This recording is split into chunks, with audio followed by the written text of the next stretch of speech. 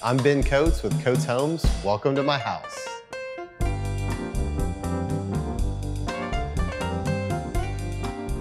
How do you differentiate yourself color-wise, but also with textures? Yes. Tell us about what you specialize in. I think happiness and joy is what most of my clients say they feel when they view my art, and that is just because of the colors we use. We use vivid hues, reds, oranges, yellows, pinks, greens, and blues, and I will certainly do more muted works based on commission. We can definitely do that.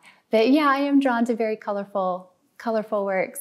I just feel like color can evoke such emotion and feeling, and I love big large scale, colorful, abstract works. I really love to get active with my paint, and a lot of the works that I do, I do on my studio floor, elevated up on buckets. I mix lots of paint and I splash it around, and really, I just, I love to make a mess. I love to paint. People ask us all the time, how do you become an interior designer? How do you become Mm-hmm. an artist?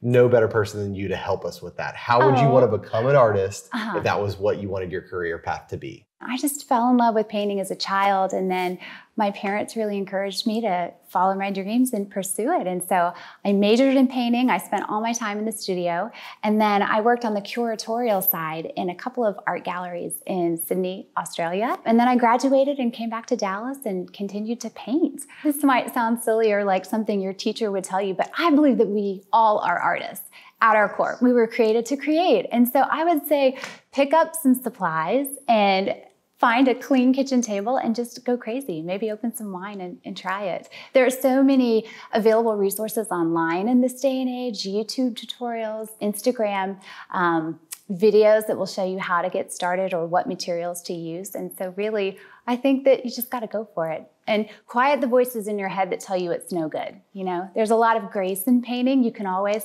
paint over your canvas and start over. So, I certainly do all the time.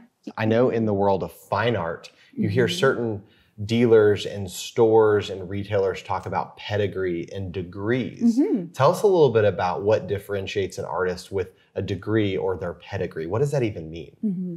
Well, it's certainly helpful if you've studied art and you've learned the classic techniques and you've had that opportunity. But also, I think in this day and age, a lot of social media has democratized the viewing and the creating and even the purchasing of art. Mm. And so many of the wonderful artists who are making headlines today are self taught. And so there's great value in just exploration and certainly pedigree and taking classes to learn technique is important, but also just following your heart and seeing what makes you happy and what you would want to put in your home. I think that's huge and certainly very valuable for your collection.